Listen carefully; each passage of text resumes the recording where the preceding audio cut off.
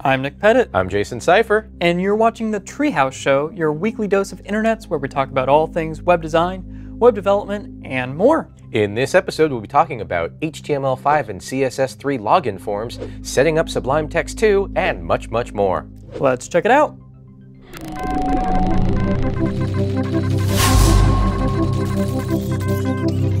First up is this really cool blog post over on Codrops Is about it cod? Oh, I thought it was cod rops. or or cough drops. I don't know. It's basically a login and registration form built in HTML5 and CSS3. Hmm. So let's go ahead and take a look at the demo here.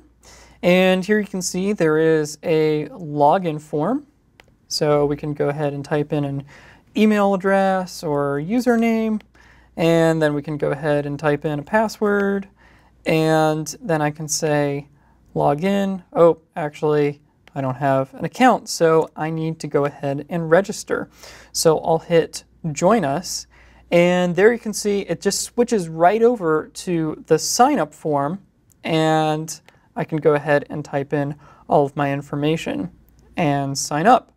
So There must be a lot of JavaScript going on back there. you would think that, Jason, That wouldn't you? you can yeah. actually switch back and forth between these two forms, and you would think that it's actually JavaScript driving that. And of course, there are other bits of animation here.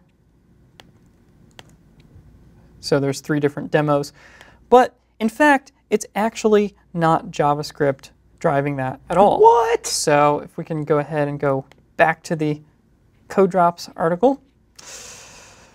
Right here, it says that it's actually the pseudo class target in CSS3 that is driving all of this. Wow. So basically, it's not using JavaScript at all. It's actually being driven off of just CSS3, animations, etc. And it's pretty pretty cool. It's a little bit advanced, so I recommend you go and check out the article and just break it down, see how it works. It's That's, pretty cool. that's really amazing that you can do that without using any JavaScript. Yeah, yeah, no, definitely, um, definitely a cool technique.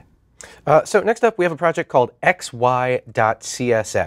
Now, this is extremely interesting. This is a percentage-based liquid uh, layout, columnar layout design matrix. I understood some of those words. Yeah, a lot of words there. What do they mean? Well, let's say you have a web page, right, and you want columns on it, maybe in a grid. If you're designing it with a percentage-based layout, well, that's going to be pretty difficult to do. You know, keep those columns uh, centered.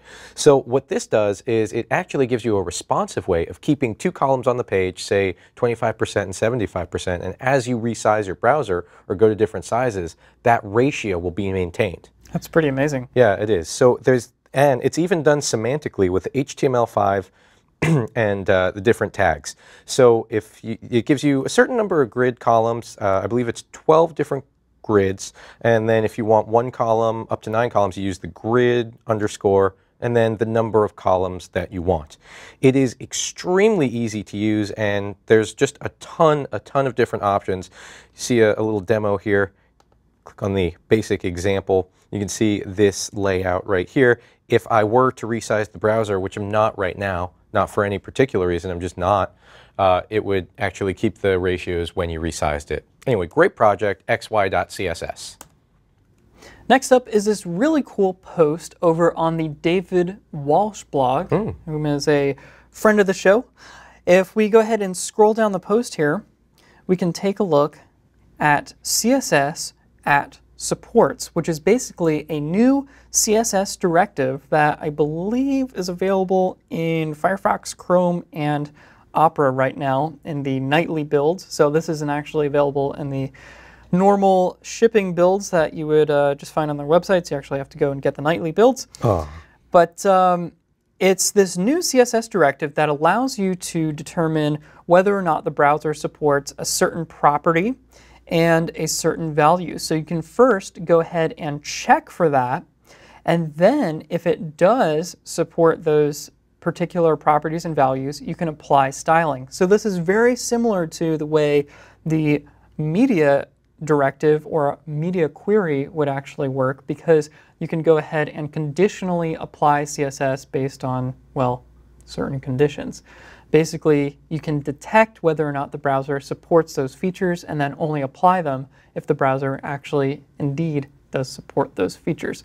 So pretty cool. It, I mean, it's much better than doing feature detection Yeah. or browser sniffing and trying to figure that stuff out with, you know, all sorts of JavaScript beforehand because you can just go ahead and do it right in the CSS. So that's cool because you don't have to change your code as browsers support new things. You can just basically say like, you know, if this browser supports uh, these particular properties, go ahead and apply this new uh, this new property now that it works in this browser. Yeah, So- make the text blink. yeah, Add a marquee. of course. Yeah. I mean, that's what we all want to do.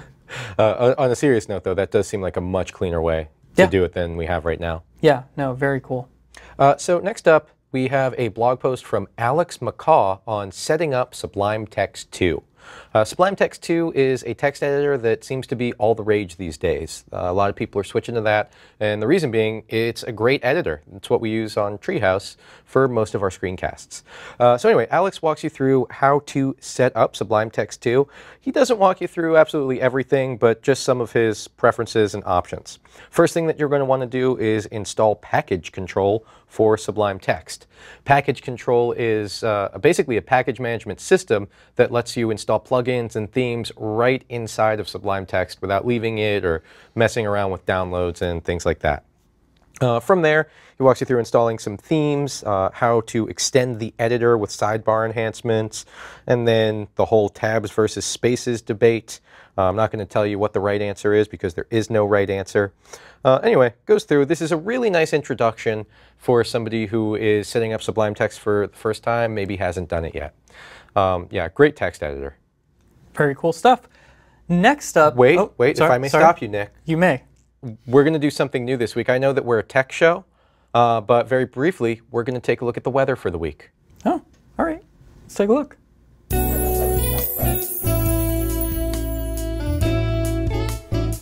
Well, it looks like we have a uh, very handsome week ahead. Hmm, Indeed. Next up is Metrize icons. So if you're familiar with Microsoft's Metro style, Which you should be because we talked about it here on the show before. we have talked about it on the show. So if you've been watching the show, you would you would know about that. Yeah.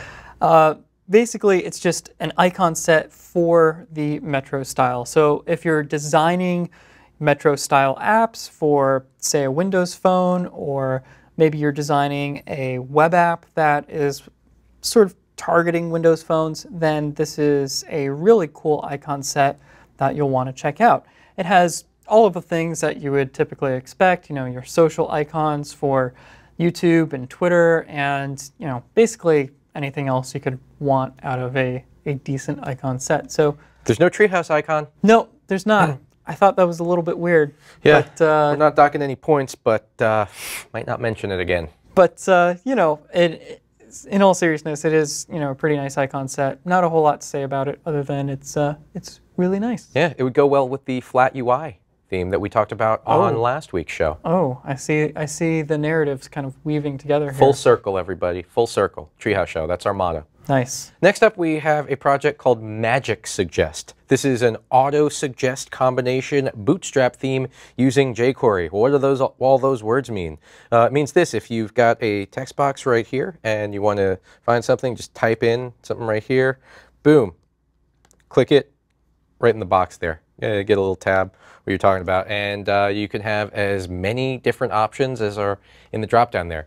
As you would expect, since it's built on jQuery, very extensible, very easy to use, and drop right into an existing site. Very cool. Well, next up is this really amazing article about CSS masking. Now, I will warn you, this is a little bit more advanced than we have time to really dig into here on the show. So I do recommend that you check out the article, which you can check out in our show notes on YouTube or iTunes. However, let's take a look really quick. So basically, you can go ahead and mask various images or say SVGs inside of your CSS using the clip path property. Yeah, I think we've all been in the situation where we have an image on our web page and we think it would be great if I could add, you know, a bunch of slices to it. Maybe make this, make it circular, um, um, like a circular mask.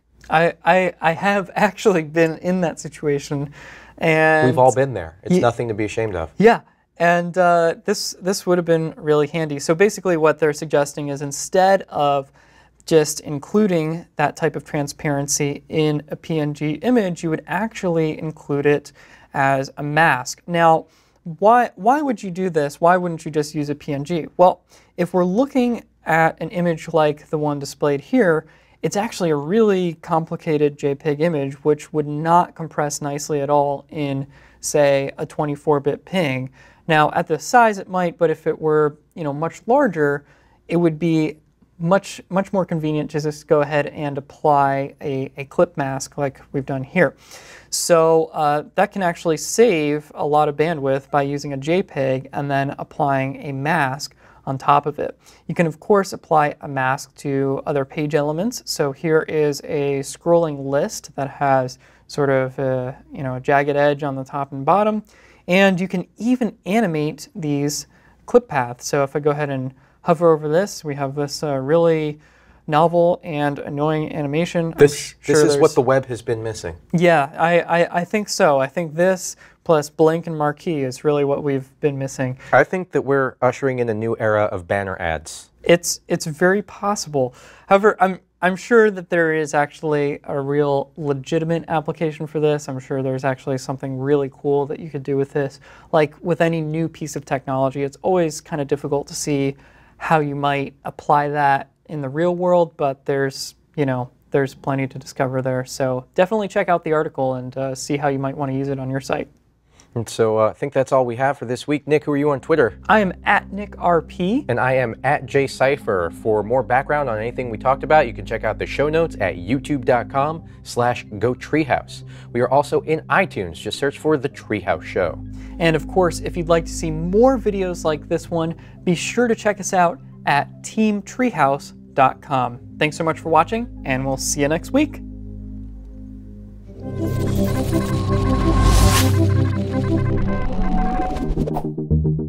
If you'd like to see more advanced videos and tutorials like this one, go to teamtreehouse.com and start learning for free.